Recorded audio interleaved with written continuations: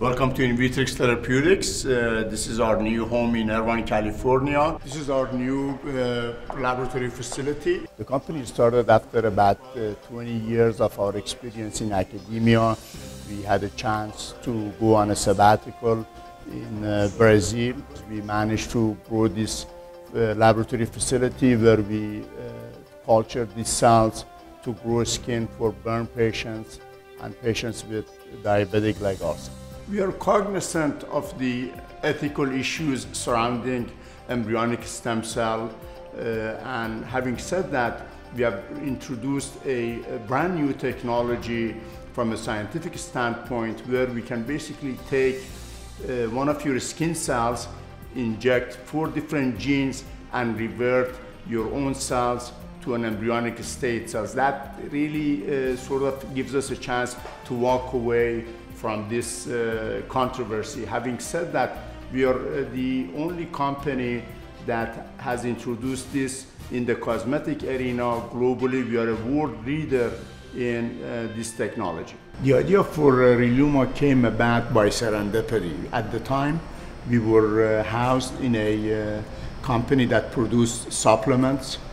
They had a European distributor that was visiting them uh, he managed to get his hand on our unformulated product.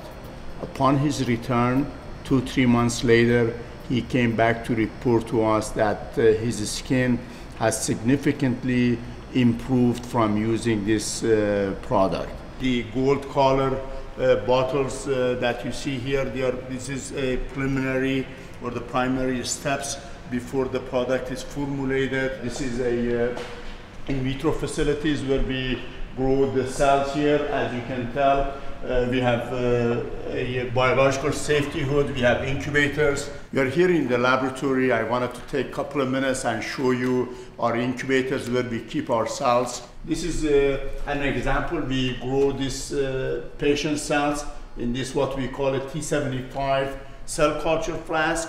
We monitor uh, these cells on a daily basis and here uh, one can basically see how these cells uh, divide in culture. This is a time-lapse uh, photography. Some of these uh, shiny cells that you see here are what we call mitotic indexes. If you really follow this single cell, soon she'll become two daughter cells identical. This is one of the most important aspects of stem cells that they have the ability to self-renew. The second aspect of a stem cell is that they have the ability to also differentiate to different cell type and tissue type. This is where we store our stem cell. This is a liquid nitrogen freezer. This is very cold. This is at minus 132 Celsius. And as you can see here, we have stored many of our patient cells here for very long time.